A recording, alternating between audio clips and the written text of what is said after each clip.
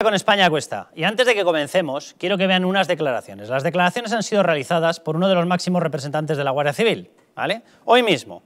Juzguen ustedes si esto les parece censura o no les parece censura. Por cierto, ordenada, evidentemente, por Pedro Sánchez. Atención. Nosotros estamos trabajando desde con nuestros eh, especialistas en dos direcciones. Una, pues a través de, de la jefatura de información con el objetivo de evitar el estrés social que producen toda esta serie de bulos y otra de las líneas de trabajo es también eh, eh, minimizar ese, ese, clima contrario a la gestión de crisis por parte del, del Gobierno. Bueno, pues juzguen ustedes. Yo simplemente les digo una cosa. El mismo Pedro Sánchez que ha orquestado eso es la misma persona que ha citado a Pablo Casado este lunes para reeditar unos supuestos pactos de la Moncloa. ¿Vale? Perfecto. Pedro Sánchez. El mismo Pedro Sánchez que ha desprotegido España ocultando las alertas de la Organización Mundial de la Salud del 23 de enero y el 30 de enero. Y, por cierto, sigue sin pedir perdón.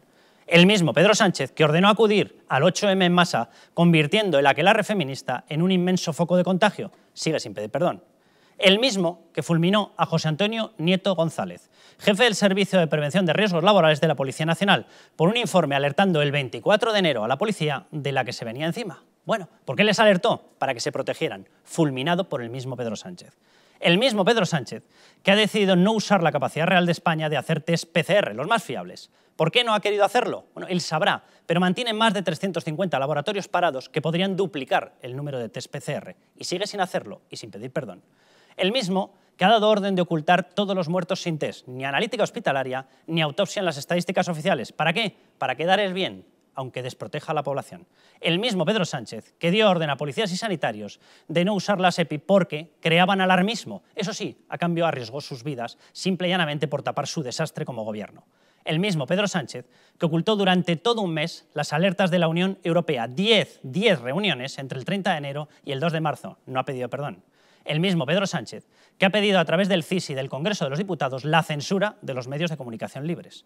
El mismo, el mismo Pedro Sánchez, que ocultó y desoyó durante mes y medio las advertencias científicas lanzadas en el Comité de Expertos del Ministerio de Sanidad por gente como Juan Martínez Hernández, de la Organización Médica Colegial, que el 30 de enero, el 30 de enero, anda que no ha llovido, contradijo a Fernando Simón y advirtió del efecto demoledor del COVID-19 el mismo Pedro Sánchez, el mismo que pide lealtad institucional, que es el mismo que retrasó los mecanismos de respuesta hasta que fue imposible comprar en un mercado internacional, donde todos los países habían realizado semanas antes sus pedidos masivos, colapsando evidentemente la oferta.